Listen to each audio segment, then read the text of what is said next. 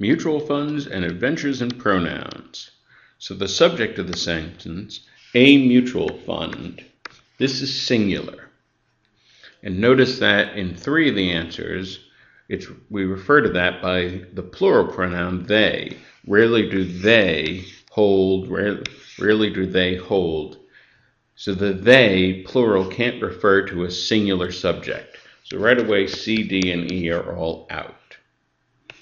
In B, we have what's called the empty it. It is rare. It's very rare that the empty it is something correct on the GMAT. It is almost always a wordy indirect construction. And in particular, it is rare to hold. It's unclear at this point. Are we still talking about the mutual funds? Are we talking about something else in general? It's a very unclear, awkward construction.